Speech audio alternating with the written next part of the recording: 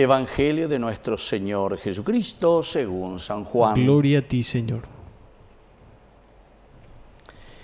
A la hora de pasar de este mundo al Padre, Jesús dijo a sus discípulos, Como el Padre me amó, también yo los he amado a ustedes. Permanezcan en mi amor. Si cumplen mis mandamientos, permanecerán en mi amor, como yo cumplí los mandamientos de mi Padre y permanezco en su amor.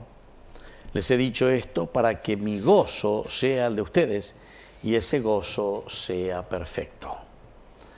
Palabra del Señor. Gloria a ti, Señor Jesús. Queridos amigos, qué hermosa lectura. Hoy nos trae la palabra del Señor. Estamos continuando con este capítulo 15 que se presenta al Señor, el yo soy, ¿verdad?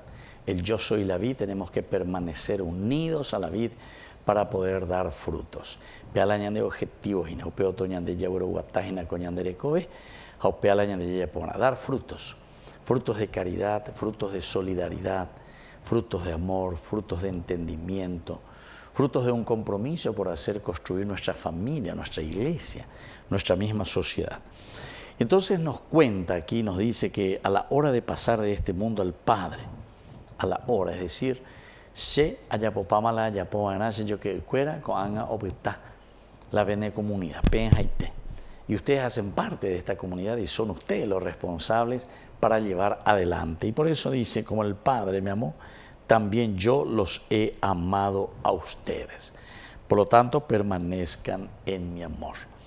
El primer elemento fundamental para comenzar a dar frutos, lleva la construcción del reino de Dios, es la permanencia en el amor de Dios. Permanezcan en mi amor. Y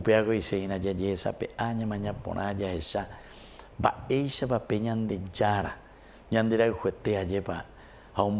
peita y así nos da la vida pero es ese amor que se dona totalmente. Pero justamente por eso nosotros tenemos que permanecer unidos a este amor tenemos que vivir de acuerdo al amor de Dios. La ñandé da yajejuino de yara, entonces diga tu y la ña cambian porque el amor a Dios viene muy concretamente expresado en el amor al prójimo. Y el amor al prójimo significa honestidad, amor, solidaridad, empeño, justicia, justicia, sobre todo eso. Isaías, Jeremías, ya desde el Antiguo Testamento, lo que yo quiero no son holocaustos, no son ofrendas y que actúan de ello, habemos a enviarme lo que sea. No, yo lo que quiero es que vos seas justo, que vos seas honesto. Y si uno piensa, si uno utiliza un poco la lógica, cuando hago mi escuela, ya estudiaba y la lógica a la filosofía. o no pero algún presidente, ministro, mío, no bajo mi estudio mía de los colegios nos quieren hacer homo faber, ya ya ante las cosas. Ya muy tornillo, ya a eh, martillo, eh, ya maneja de coche, de máquina, ya de eva, de purucua, rey purucua, instrumento. Ande y purucua lo esencial, la neaca. Ah, bebé, ya acabé mandé, de y mandé. ¿Cómo es la lógica? La lógica del hombre, el pensamiento, la capacidad de pensar, porque desde ahí solamente nosotros, queridos amigos, vamos a poder también construir nuestra propia vida, nuestra propia existencia. Y entonces aquí está el gran amor, ¿verdad? Que Dios nos ama tanto, pero este amor es para que nosotros podamos descubrir quiénes somos, nuestra propia existencia, y por eso tenemos que religarnos a nuestra existencia. El hecho de seguir los mandamientos de Dios, de escuchar la palabra del Señor, nos lleva a una profunda reflexión sobre nuestra propia vida y sobre nuestra propia existencia.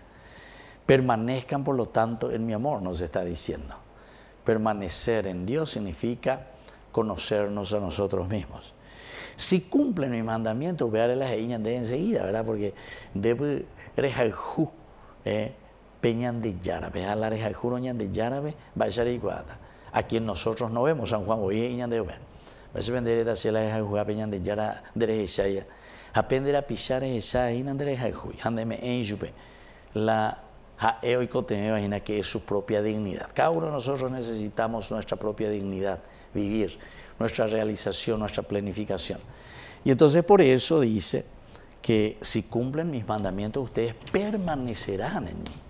O sea que es de una manera indirecta como nosotros llegamos a la permanencia en Dios, el amor de Dios.